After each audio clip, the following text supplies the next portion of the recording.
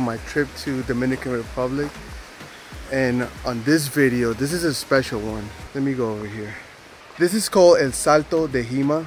It's uh, located on the outskirts of Bonao City. I was here 10 years ago and I fell in love with this place. Uh, unfortunately, like, you know, you get caught up in life and working and anyway, just general stuff that you forget about taking vacations. All this time, it's been 10 years again, like I said, and I wanted to bring my family here. Uh, I have a 14 year old now, and of course, my wife and I have been 20 years together. And she's from actually Fombo now. That's how I know about this place. Like I said, this is a special video, and hopefully, you guys like it.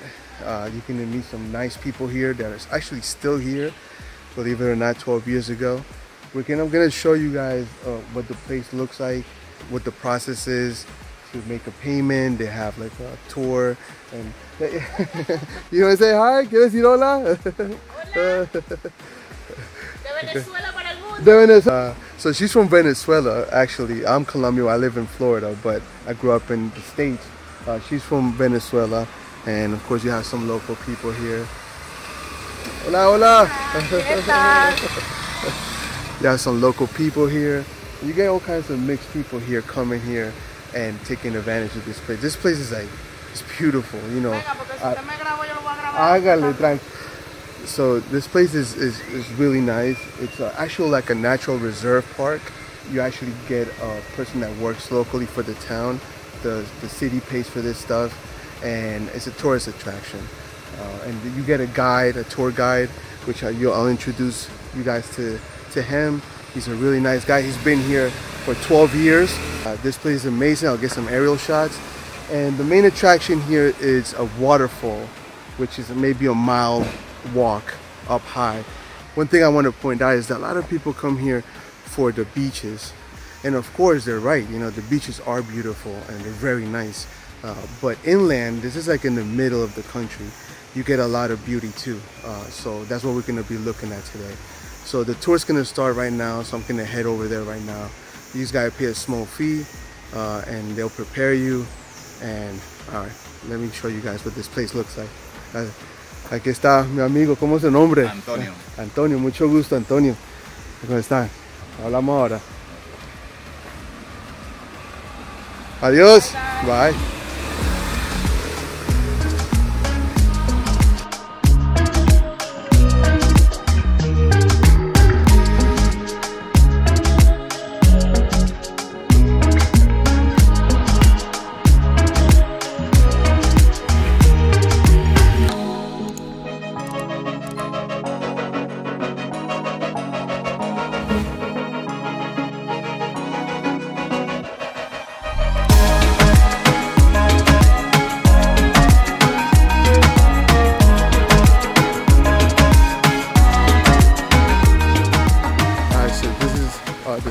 the, our tour guide right here. I'm going to introduce you guys to him. So, his name is Andre. He's going to tell us about this place a little bit. So, let me let's let's let's see.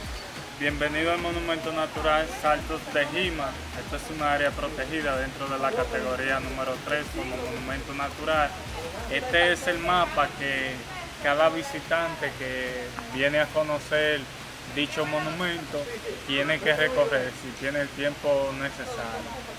Le voy a explicar el mapa, luego le voy a explicar la norma y cómo es el procedimiento para poder entrar a esta área protegida. Ahora mismo estamos aquí, entrada al sendero, hacia este punto donde nos encontramos. Centro de protección es esa caseta que se puede observar ahí. Es un cuartel para mantener la vigilancia dentro del área protegida. Vamos a pasar por la única casa que hay adentro, que es la casa de Felipe. Luego por el charco La Trocha, charco La Cabima, charco de Gengo, charco El Saltico, Cascada de la Juventud, Puentecito del Amor, área de descanso de cacao. Luego llegamos al primer salto. De la casa de Felipe al primer salto a un kilómetro 800 metros. Antes de llegar a la primera cascada hay que recorrer más o menos en tiempo, unos 20 a 25 minutos y vamos a observar alrededor de 8 charcos. Vamos a cruzar un sendero eh, toda la ribera del río. Vamos a cruzar por puentes y escaleras. Por motivo del Ministerio de Medio Ambiente y el consenso que se realizó, se cobran 200 pesos por persona. Eso le incluye que en este caso nosotros como guía le hacemos tres funciones fundamentales, le explicamos dentro del sendero, le acompañamos al visitante que viene aquí y le cuidamos también de su pertenencia. Ese es el compromiso de nosotros como guía y que sobre toda cualquier cosa que puedan llevarse se lleven de las mejores experiencias en este monumento natural y que se puedan sentir satisfechos con todas las eh, informaciones brindadas por nosotros y que llenen la expectativa de ustedes y que sobre todo puedan volver. Ese es nuestro eslogan.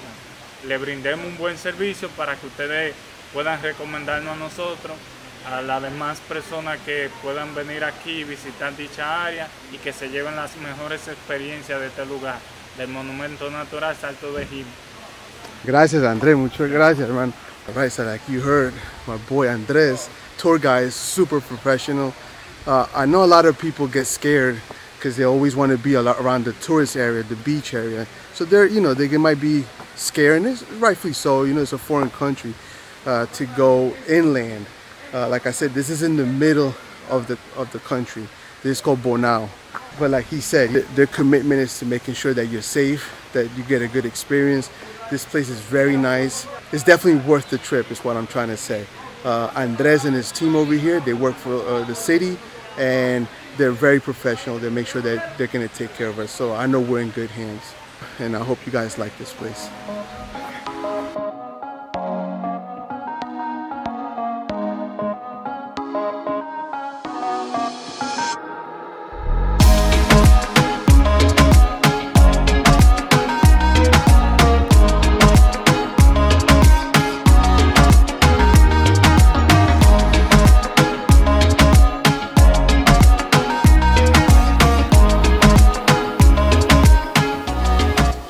These trees are not native to this region of the country. They were brought here and planted from other regions, but they're from Dominican Republic, just other regions.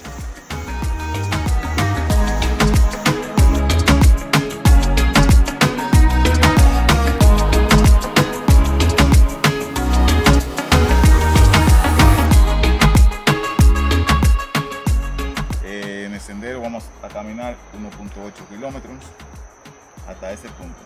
Es la única cascada que tenemos habilitada hasta este momento. Casa Don Felipe, la única casa que hay aquí en el área protegida. ¿Quién es Felipe? Felipe es una persona que tiene dentro del área protegida 70 y pico de años. Desde antes seis áreas protegidas, que fue declarado en el, en el 2009. Entonces ya Felipe viene siendo el fundador del área protegida. El anfitrión que nosotros tenemos aquí. De, de- Él tiene árboles de naranja en su propiedad. Sí. En ese, en ese tiempo había, había mucha naranja. Hace 10 años Sí. nosotros paramos ahí y digo, cojan lo que quieran. Y, Sí. Sí, en ese tiempo había mucha naranja. Eh, Ya, ya eh, la contaminación de- del medio ambiente, la- las empresas, de Cofacondo, eh, la Facunrid Dominicana, todo eso ha acabado con, con la naturaleza. Ya, aquí. Mm, Ya para tener una mata naranja, tiene que estar fumigando diariamente, eh, mensualmente, para que poder tener eh, un fruto saludable.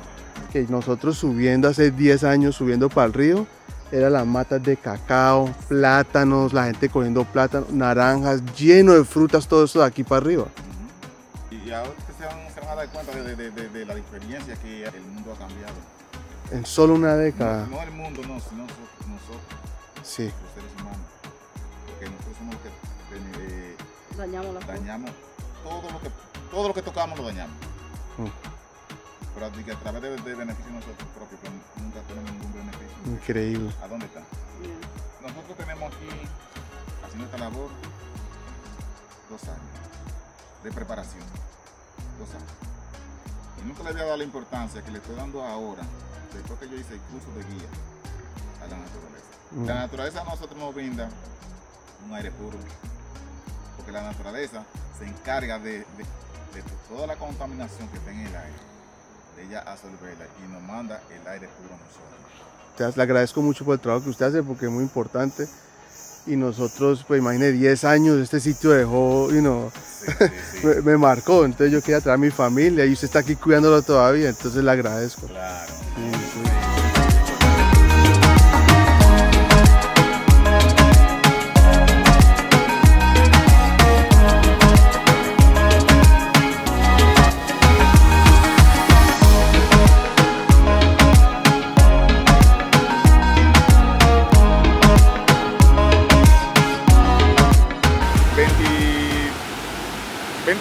20 y pico de cascadas que tiene este río.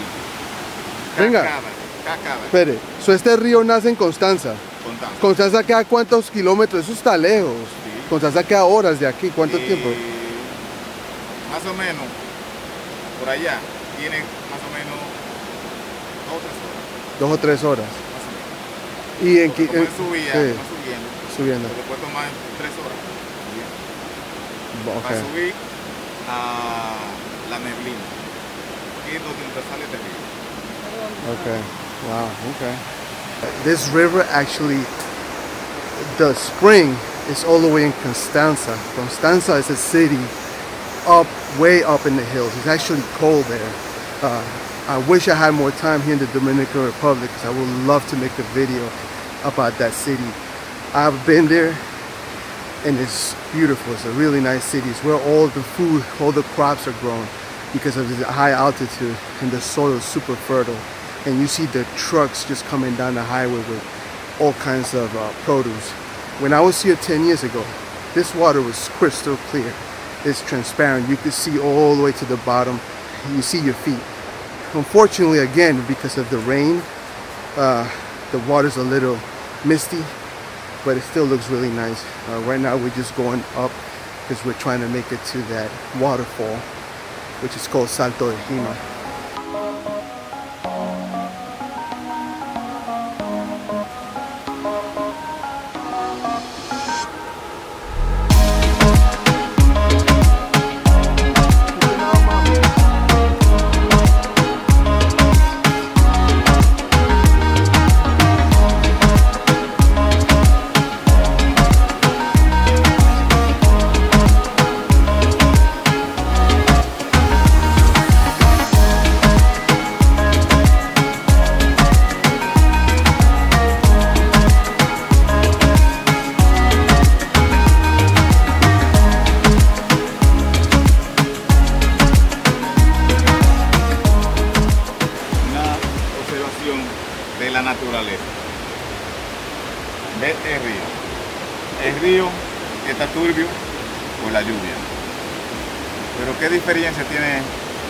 Naturaleza con el río y lo que es el agua que baja de la, de, de la loma?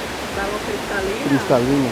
Pero Aquí ¿por es qué? el agua, aquí. ¿Por qué está tan cristalina de la, de la loma? La loma filtra el agua, por muy, por muy turbia que venga, la loma filtra el agua y la manda limpia hacia abajo. Y te puede tomar, te puede coger pues, un termito de esa agua ahora mismo, ahora mismo, y usted no le va a ver ni una partícula. Pero si la coge del río, va a encontrar muchas partículas. Yo parezco la montaña filtrando agua también. mire. Está filtrando la que se bebió.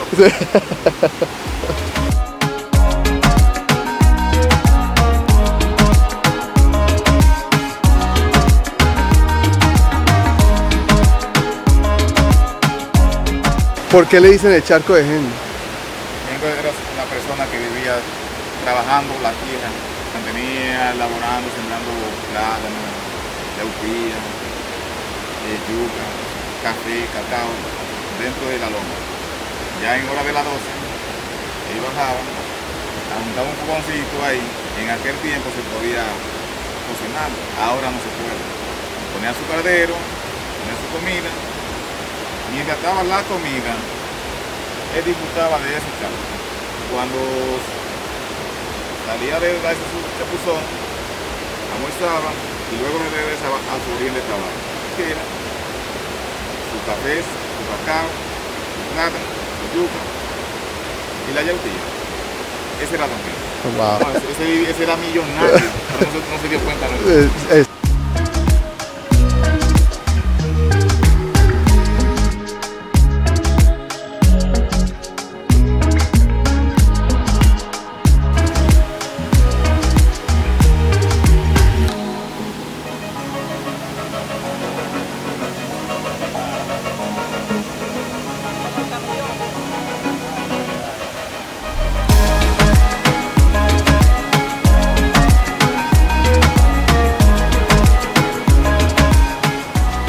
Is a workout. Excuse me if I'm out of breath, but I am out of shape, and this is a hike. Not a good combination. as you saw in that last shot, he's explaining to us that's why they can't let us in the water because of the strong currents. But check this out.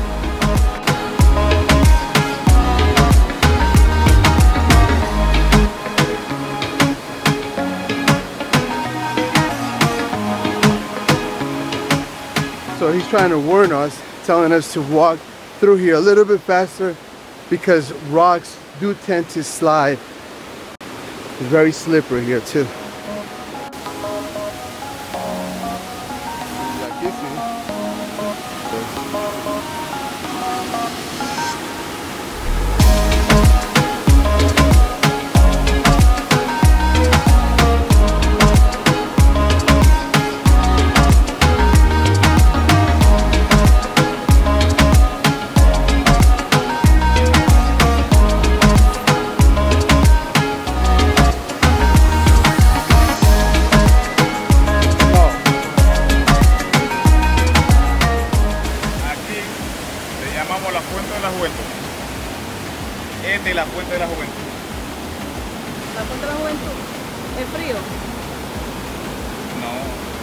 ¿Por qué le dicen así? es porque aquí los jóvenes de aquí nos gustaban no bañar ahí. Solamente era por tirarnos de esta tierra. No puede que eso nomás lo hacen los locales de aquí, de la comunidad. No visitando. ¿Usted se tiraba del salto de Jima? No, nunca lo hice, pero hay muchachos de aquí que lo hacen. Okay.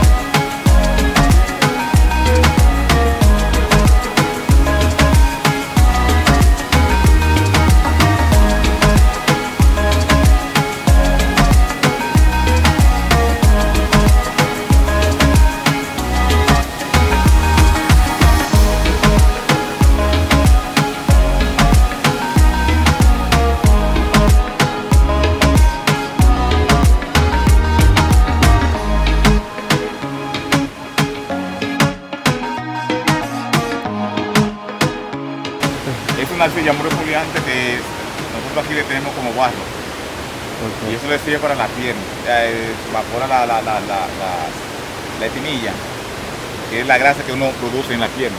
Si usted quiere ponerse, vaya y póngase. Lo que no podemos es ¿Lo sacarla de aquí. Un maquillaje.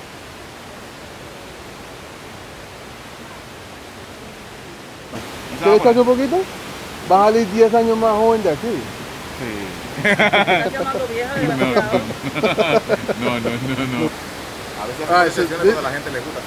So he's telling us this is mud. Le sirve para limpiarle la piel. Okay, so it, it Eh, cleans your skin, para que le like the baje photos. los poros. So it cleans your pores. So, Uh, you see this in other places like beaches and stuff like that, but here's straight out of a mountain. You know, I've seen this before, but what I found interesting is that you could put this in your skin here, but you're not allowed to take it out of this uh, nature reserve. pueden, si la tienen en la piel, la pueden sacar. Lo que no pueden es sacar eh, cantidades de aquí para eh, comerciales. saca. So it can't be commercialized. You can't take it, put it in a jar, and take it out of the reserve. Uh, also earlier, he was explaining to us of, of the work that went into this. Uh, like I said, I came here 10 years ago. 10 years ago, it was more like a town uh, river. People from the locally would come here and cook, drink, party, and it was kind of unsupervised. Now, uh, he took it upon himself and a few others to create a committee and actually make this a natural reserve. They've been at it for two years, and he was telling me the amount of research that they had to do, the local history, so they can name these little spots where you could swim uh, and honor the local people. Get the locals to cooperate, finding out the names of these trees, actually bringing trees to plant I didn't know this, but when we were at one of these places where you could swim, it was a high jump, and he was pointing at it. He said that he used to jump there, and that's when I found out. He, I asked him, and he's an actual local. Because he's from around here. He was born and raised around here, so he's the perfect person to give us this tour.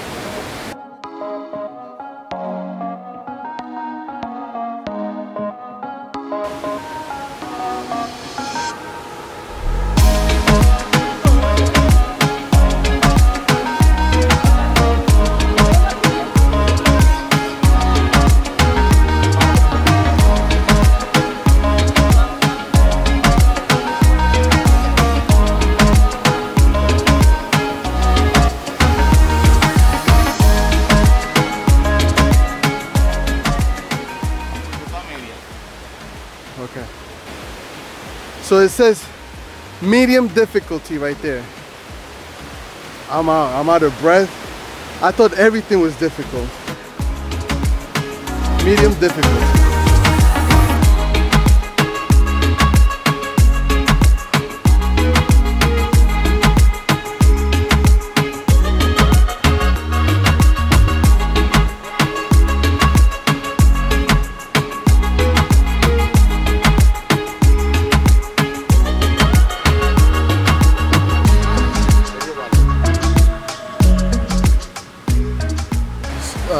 Just got done explaining to us that that tree has a very unique uh, shape.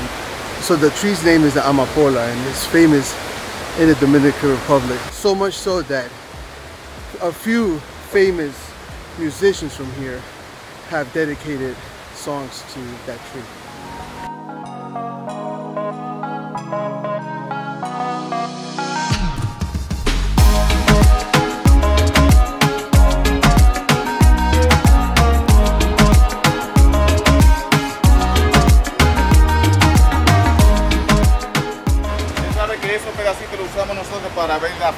Fuerza que tiene cada quien para subirlo. ¿no? Ahí Los nosotros- tres fallamos ahí. Ahí, ahí- ahí lo- le, di- le di Tres vueltas. tres vueltas, cero, cero, cero. No solamente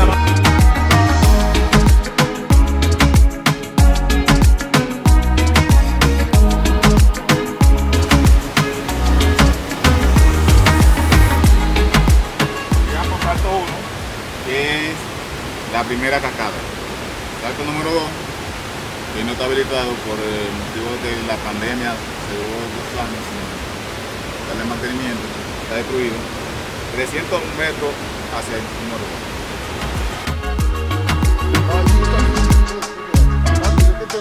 2.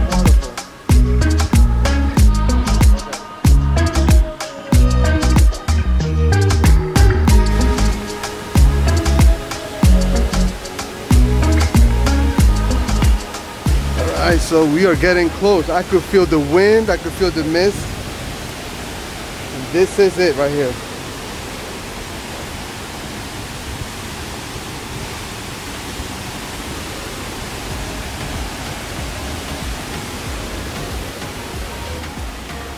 We're getting close.